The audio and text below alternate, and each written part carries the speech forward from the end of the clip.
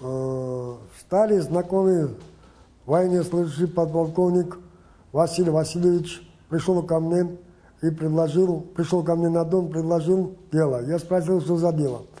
Вот. Он мне сказал, пойдем расскажу.